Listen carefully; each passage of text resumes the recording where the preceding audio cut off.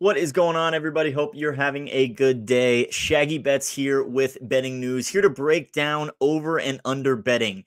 Now, you might have heard this if you're new in the sports betting world people betting on the over or under or betting on totals. Well, I am here to explain it for you. Betting on over unders is very simple, one of the easiest bets to understand in the sports betting market. All you're doing is betting on the over or under the total amount of points scored in a particular game. Now, this you can bet this market in the NFL, on college hoops, on the NBA, on NHL with total goals.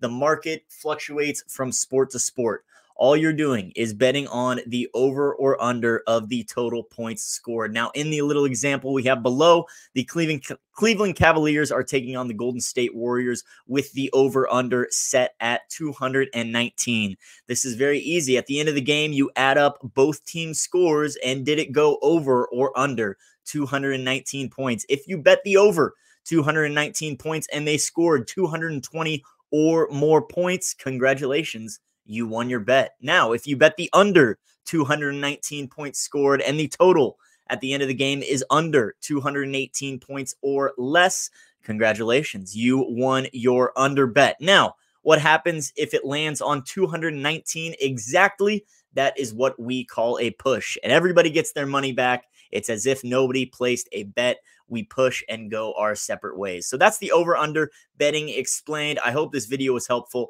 Uh, if you have any more questions, feel free to reach out on my personal Twitter at shaggy underscore bets or find us at bettingnews.com or on Twitter and TikTok at your betting news. We're here to help. We are all about the game. So, you guys, hope this video was helpful.